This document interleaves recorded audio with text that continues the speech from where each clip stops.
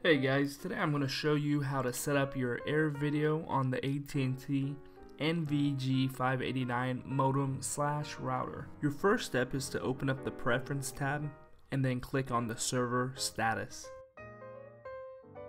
You're going to want to write down your local IP address and external IP address along with the port number.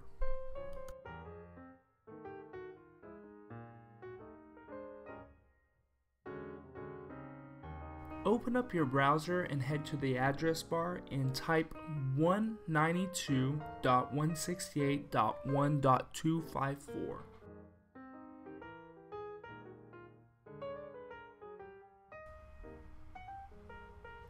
Once in, you'll see the home page of your router. Find and click the firewall tab, followed by the NAT slash gaming tab. Enter your device access code located on the side of your router. This page will show all of your applications where port forwarding has already been configured. Click the Custom Service tab. This page will allow you to add your custom application with a proper port we wrote down earlier.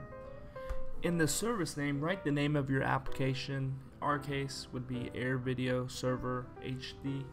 If you're wondering why I have four items underneath my service list, that's because I've already added this before. Yours will look different. Under global port range, you will add the port number we wrote down earlier. If you don't remember, just go back to Air Video Preferences and you should be able to find it. In the second box, you're going to write the exact same number. Leave base host port blank and the protocol tab select TCP slash UDP if it's not already selected. Then click the add button. Next we need to select the device the program we're using is located on. You should see the computer's name. Under service you'll have a star next to the custom application that you added. It should already be selected. Then click the add button.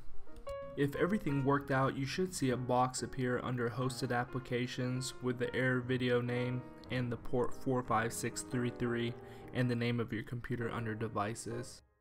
You can test it out by heading over to the AirVideo app and uncheck automatic port forwarding and click test connection button and you want to make sure you get the message that AirVideo is accessible from the internet. And once everything is set up, you can watch any video on your computer in any format on the go, just download the app on your iPad or iPhone. And thanks for watching and thumbs up if this video helped you guys out. Thanks.